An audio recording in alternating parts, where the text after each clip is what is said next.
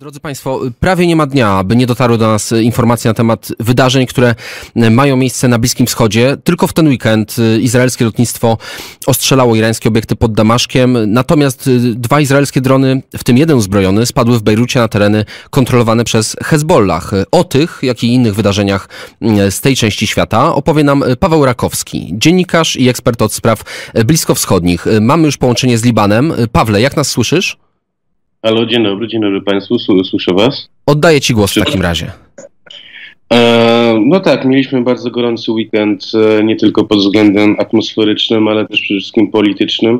Doszło do dość niecodziennych wydarzeń, mianowicie mm, e, Wczoraj wieczorem e, zostały zauważone dwa drony, które bardzo nisko krążyły nad e, południowymi dzielnicami Bejrutu, e, nazywanymi potocznie Shiach czy, czy też Dahia, mm, zamieszkiwane przez społeczność szyicką, czyli mm, w, to, w ten lub bardziej sposób powiązany z Hezbollahem.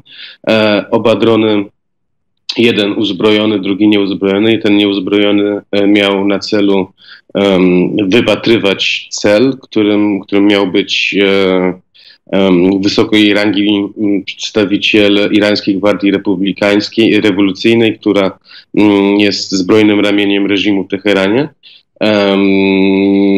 Dron został strącony przez wyrostków ciskającymi kamieniami, którzy zauważyli e, bardzo nisko latający obiekt. Kolejny dron już uzbrojony, który miał wykonać obiekt, który miał wykonać zamach, e, tak zwany targeting killing na ulicach Bejrutu. Um, też został strącony e, i też się rozbił, niszcząc przy okazji redakcję jednej, jednego z medium po, powiązanego z Hezbollahem. Całe wydarzenie dość mocno rozsierdziło libańską opinię publiczną, a przede wszystkim Hezbollah. Niezapowiedzianej wcześniej mm, telekonferencji lider Hezbollahu Said Hassan Nasrallah zapowiedział słowetne słowa, mianowicie, że odwet będzie e, wtedy, kiedy im to będzie stosowne i wtedy, kiedy oni będą chcieli e, to wykonać. Znaczy, mm, pamiętajmy o tym, że przez tak właściwie od 2006 roku e, pomiędzy Hezbollahem a Izraelem jest stałe napięcie, ale to było dość mocno zamrożone napięcie. To znaczy, wszelkie działania konflikto konfliktowe miały miejsce na terenie Syrii bądź, bądź Iraku, ponieważ tak właściwie nim wydarzenia libańskie e, miały miejsce, to już od mniej więcej czwartku słychać było, że Izrael bombarduje mm, obiekty w Iraku e, partii Hashaba Shabi powiązanej z Iranem. Tam też dochodziło do tajemniczych bombardowań. W weekend doszło też do bombardowania północnych obszarów Syrii um, przepraszam, na południe od, od, od Damaszku, gdzie wedle e, izraelskich informacji szykowany był potężny e, irański, irański zamach, który miał być wycelowany właśnie w Izrael. Ale wracając do Libanu. E, przez w sumie 13 lat był cisza i spokój na tym odcinku.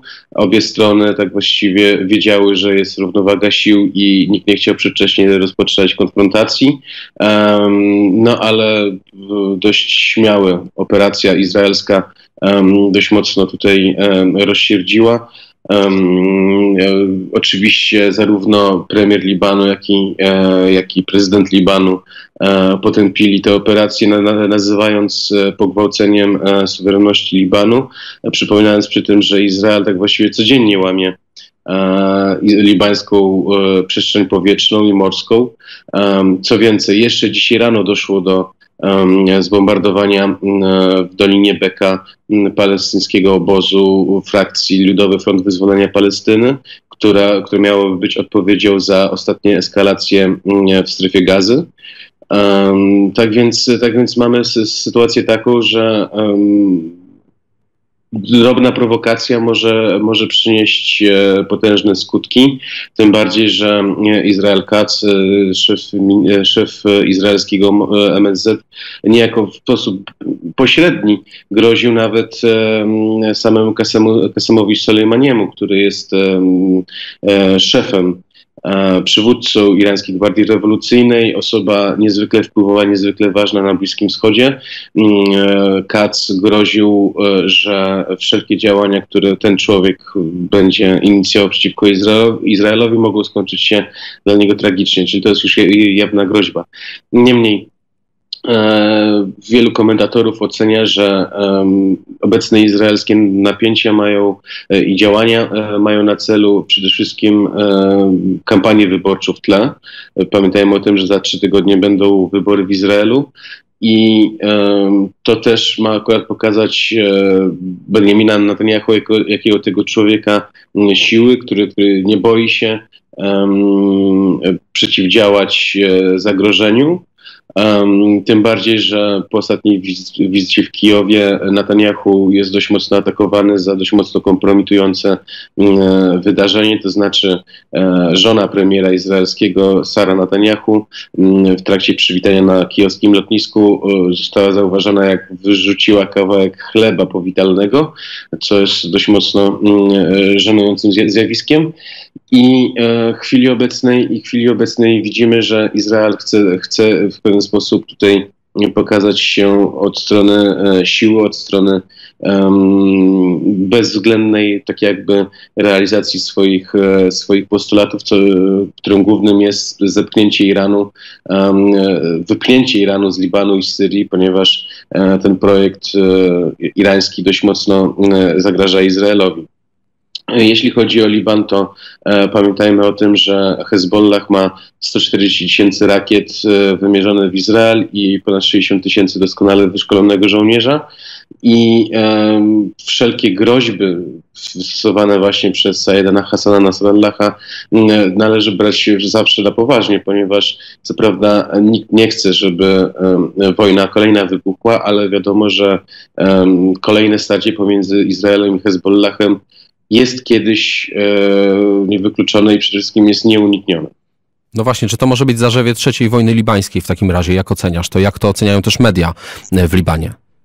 E, media, media w Libanie tutaj tak, aż tak jeszcze radykalnych wniosków nie wyciągają, ale pewne jest to, że wszelka, że, że wszelkie próby odwetu ze strony Hezbollahu mogą właśnie w taką w kolejną wojnę się przerodzić. Pamiętajmy o tym, że druga wojna libańska też rozpoczęła się od um, takiego prowokacyjnego ataku, tak więc, tak więc um, wszystko, wszystko może się tutaj przetoczyć niby, e, niczym e, kula, śnieżna kula z gór Hermonu.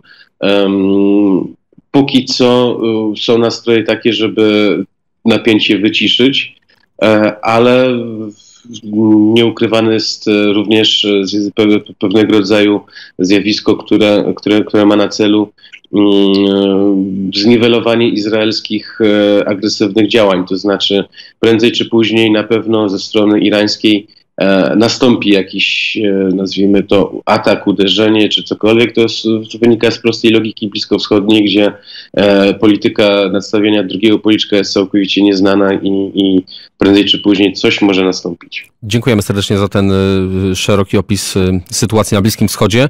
Mówił dla Państwa Paweł Rakowski, dziennikarz, ekspert Dziękuję. od spraw bliskowschodnich prosto z Libanu. Dziękujemy, do usłyszenia.